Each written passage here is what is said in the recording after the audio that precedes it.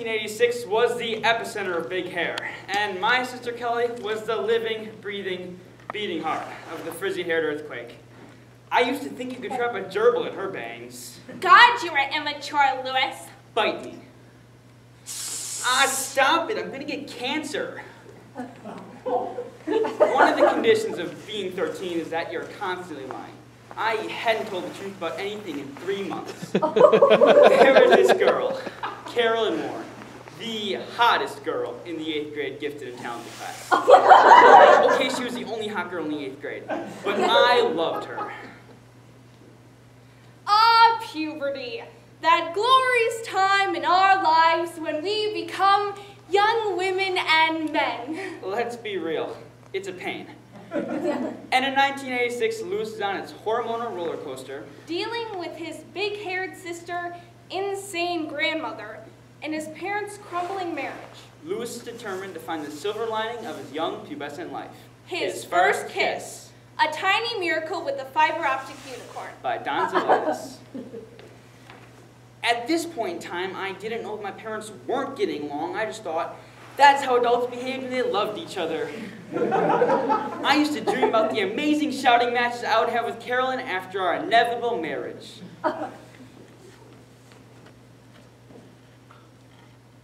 What are you doing, George? I'm, uh, cleaning the television. The Packer game better not be on. What?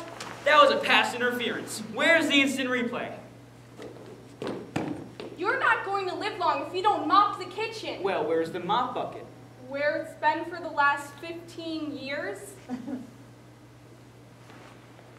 Carolyn was going to be Mary in our church nativity play, so naturally I wanted to be Joseph. Okay, um, Lewis, you're going to be an ass. What? Shut up. That's what they're called. Okay? Get used to it. You live in the manger with all the other animals. Uh, can I be Joseph? No, you're an ass. All right, people, let's get to work. Hey, hey, Micah, are you an idiot? The wise men do not do that. Ah. hey, Lewis. Uh, hi, hi, Carolyn. Sucks that you're an ass. hey, I've got less lines, you know? What does a donkey do? They bray like, bray! That's pretty good. Um, I should go work on my lines. Hey, um, I got you a Christmas present. Really? That's so sweet. But I, I don't have an Omni. Maybe I could um give it to you sometime. Okay. See ya. Of course, I didn't have a present for Carolyn. I had five days to get it. Hey, can you take me to the mall tomorrow? I told Carolyn Warren I'd get her a present. No. Look, I have an image, okay? I go to the mall to be seen. And the last thing I need is my dorky brother trailing me around. I'll tell Mom what happened to that bottle of Jack Daniels. Oh. All right, but we're going to be on separate ends. I'm gonna hug you at the mall tomorrow. You the, the Brookfield Mall was a center of social activity from kids ages 10 to 17. But my plan hit a serious road bump.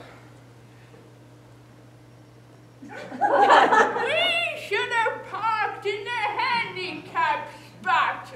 Where are you going, Grandma? To a bar. there were three reasons why we didn't want to take Grandma Jacobs to the mall with us. One, she was insane. Two, there were stuffed snakes at KB Toys that she mistook for rattlers. And three, she was insane.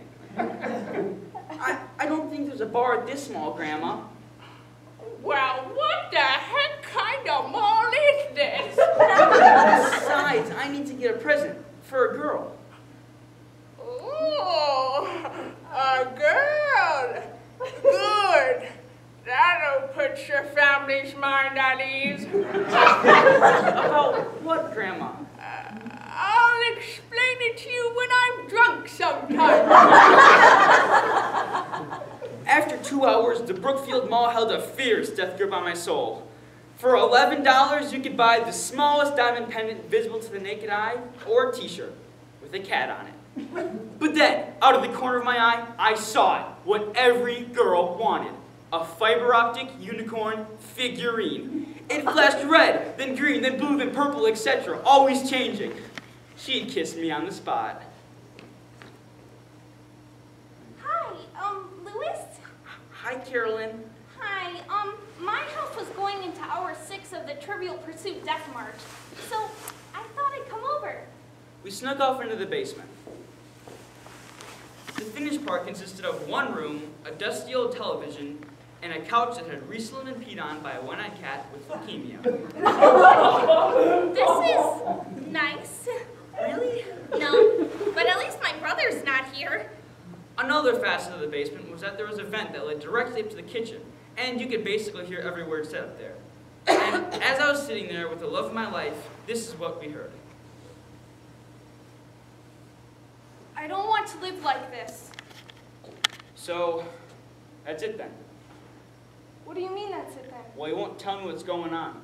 If you had half a brain, you would know. This conversation is making, making my brain hurt. You don't take anything seriously. This is like a big joke to you.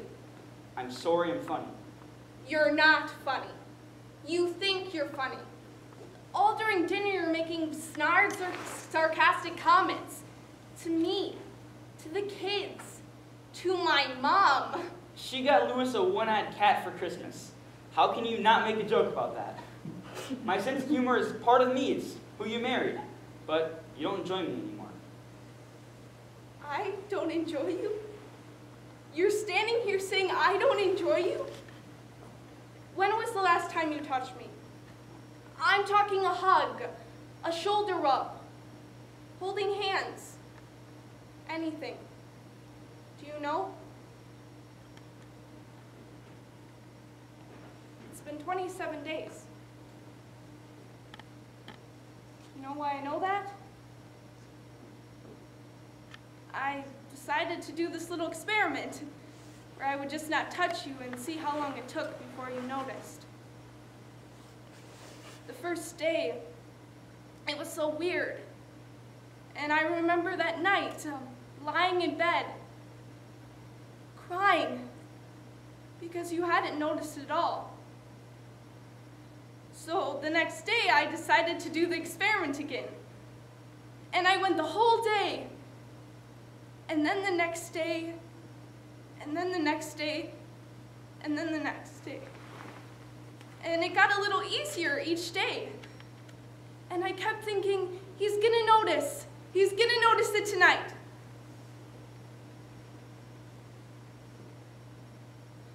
And you never did. For four weeks, you never noticed. So when I say I can't live like this and you don't know what the hell I'm talking about, that's like you're pulling out my heart.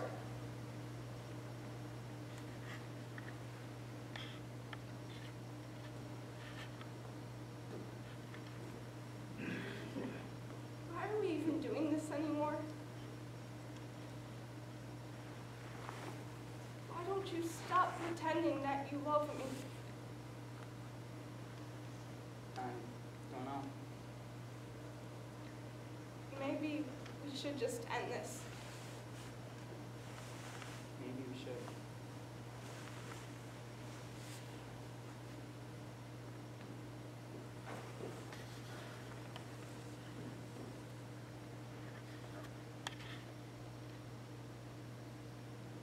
I'm sorry, Louis.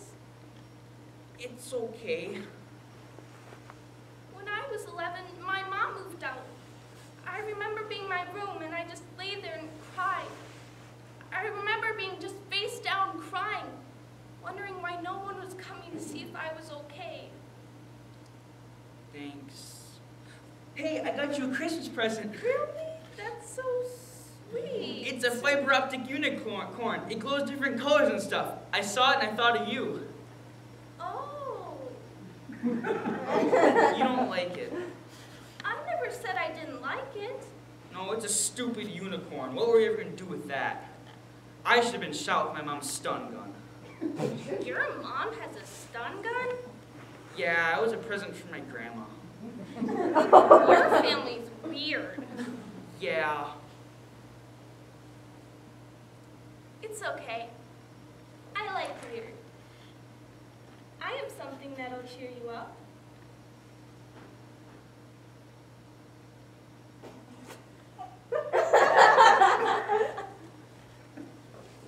Shaking all over and being scared I was gonna screw it up, or I was gonna wake up.